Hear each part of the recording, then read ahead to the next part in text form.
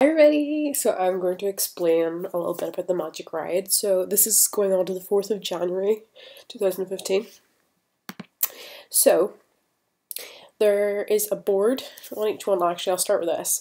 So you've got a map of all the different locations. So there's the Snowman Alley, the Village of Elves, Sugarcane Field, Toy Factory, Ice Maze, and the Divine Star. And on each one of these boards you have to collect keys. You have to collect a key to open a door to get to the next one kind of thing um, you get to the very end to get the divine. So um, for on each board there are different things. There's teleporters which allow you to go from one teleporter to another one, but it has to be the matching one. So this one would take you to that one. That one would take you to that one, for example. This one would take you to that one. And then you've also got the little presents, you'll have the medium sized presents and then the really big ones.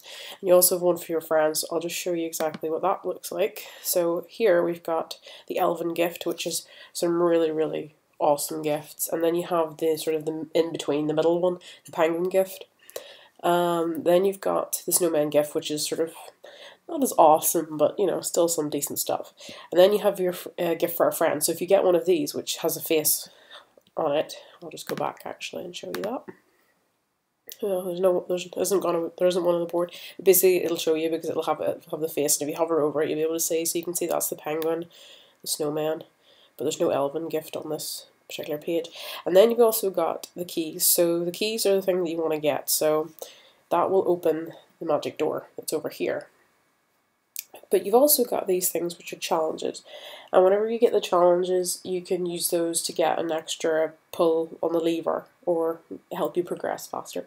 So we'll pull the lever and see what number we get. So we got three. So we will, we can, well, let's see. If you want to move, you can roll the dice again, but, oh, okay. So you can you can actually roll again. This wasn't this didn't used to be a thing. Now you can. So you can roll again if you pay money, but I'm not going to roll again. I'm just going to go as close to the key as I possibly can.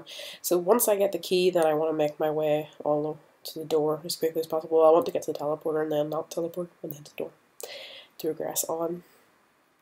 So in here you can see a little bit more information and then what the top gifts are and you can roll the dice once every 8 hours so long as you do the little challenge to get it.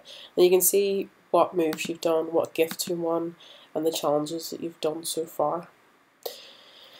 So that's kind of what it is about. Um, you need to make sure. It's sort of one of those things where you have to wait to come back and it's a pain, but that's kind of just an overall general view of the Magic Rides and um, Anyway, guys, I hope you get some really nice gifts, and bye-bye.